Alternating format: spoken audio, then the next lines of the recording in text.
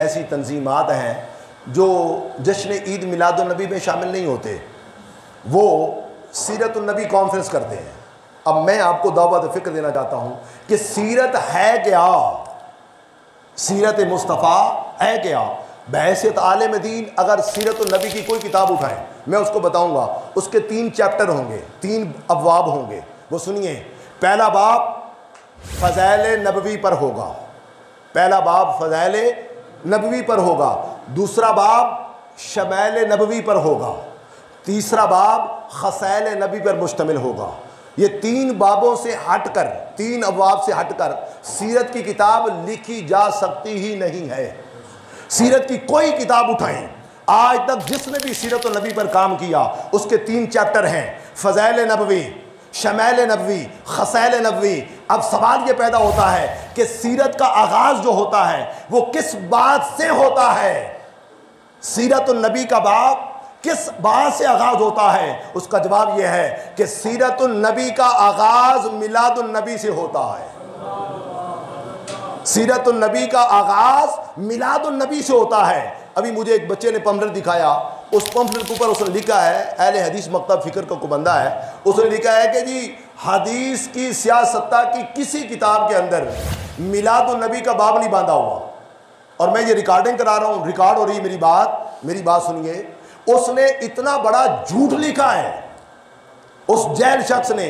वो कहता है कि सियासत्ता की किसी किताब के अंदर ईद मिलादुलनबी का बाप बांधा हुआ ही नहीं है। और मैं कहता हूँ कि सुन ले सियासत्ता में से जाम तिरमजी को उठाकर देख। इमाम तिरमजी ने अल जाम तिमजी के अंदर, सुनन जाम तिमजी के अंदर, जहाँ पर उसने हज का बाप बांधा, जहाँ नमाज़ का बाप बांधा, जक़ात का बाप बांधा, जहाद का बाप बांधा, वहाँ पर इमाम तिमजी ने मा जा आ फ़ी मिलाद नबी का बाप बांधा।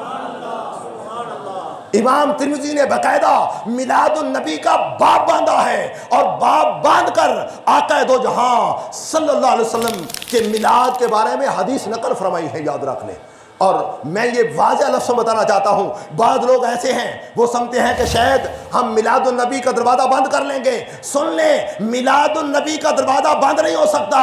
इसलिए कि जब ताजदार कनासम का आज के दिन बारह रबी को मिलाद हुआ था, मुस्तफ़ा ने सजदा किया अर्ज़ की रब हबली उम्मती। ऐ मेरे रब, मेरी उम्मत को बख्श दे। राजा जंग के बासियों में सवाल करना चाहता हूँ, जो नबी अपने मिलाद के वक्त इस गुनागार उम्मत को नहीं भूले, ये उम्मत क्यामत तक मिलाद मुस्तफ़ा को नहीं भूल सकती है। और मैं इन अकल के अंदों से उस पंफलेट के अंदर लिखा, सुनो मेरी बात, पंफलेट का मैं जवाब दे रहा हूँ, इसलिए कि आलम दीन का ये फ़र्ज़ होता याद रख लें। शेर जो पढ़ते हैं ना आप लोग ये शेरों वाले जवाब नहीं दे पाते। आलिम और वायज में फ़र्क ये है याद रख लें। आलिम और वायज में फ़र्क ये है कि वायज के आलिम के सामने रुका आ जाए, वो फ़िल्म दी जवाब देता है। वो कुरान पढ़कर जवाब देगा, हदीस पढ़कर जवाब देगा। अब मैं सवाल का जवाब दे रहा हूँ। वो कहता है कि जी, ये जो आप इतनी बड़ी बड़ी फ्लैशें लगवाते हैं जश्न ईद मिलादुलनबी की, और इतने इतने बैनर लगाते हैं जनाब आली आप ये बताएँ कि क्या सहाबा कराम ने भी ईद मिलादुलनबी की बड़ी बड़ी फ्लैशें लगवाई हैं, बड़े बड़े बैनर लगवाए हैं, और जिस तरह आप देगे पकाते हैं, और इस तरह क्या साहबा ने भी देगे पकाई हैं? तो मेरा जवाब यह है कि अकल के अंधे और नाम निहाद सकालर, तुझे जवाब दे रहा हूँ। आप सब फैसला करें मेरी बात सुने।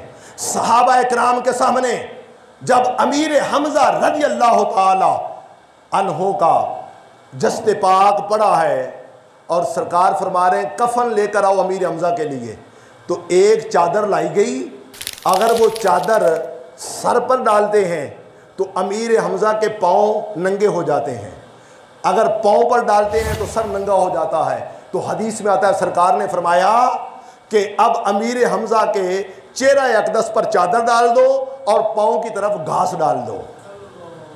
याद रख ले, जब कभी कहीं जंगल के अंदर मैयत को दफन करना है, कपड़ा नहीं है तो मेरी सरकार ने सुन्नत वजह फरमा दी। फरमाया, कपड़ा नहीं है तो घास के पत्ते ले लो, दरख्तों के पत्ते ले लो, पत्तों का कफन बनाकर दफन कर दो। सरकार दो आलम, नूर सल्लम के चचा अमीर हमजा के लिए। कफन के लिए मैं सवाल करना चाहता हूँ आपसे, अरे सहाबा के पास अमीर हमजा को कफन देने के लिए कपड़ा ना हो और वहाँ पर मिलाद के बैनर की डिमांड करना क्या ये अकलमंदी है? समझ आ रही मेरी बात? अकलमंदी नहीं है, ये अकल का यतीमपन है।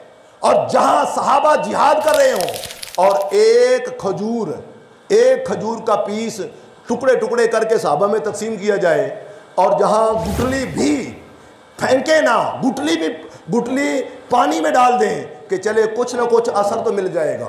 तो वजह है अब की जहाँ खंदक खोद रहे हो, ये आलम हो।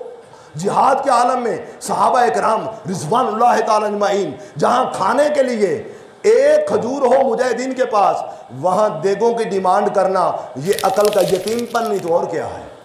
अगली बात यह है, अगली बात यह है कि मेरी बात सुनिए, साहबा कराम रिजवान हम तो सिर्फ़ बारह रबी अलवल को जश्न ईद मिलाद नबी बनाते हैं। खुदा की कसम, मेरे नबी के सहाबा हर घर में रोज़ाना जश्न ईद मिलाद नबी बनाते थे।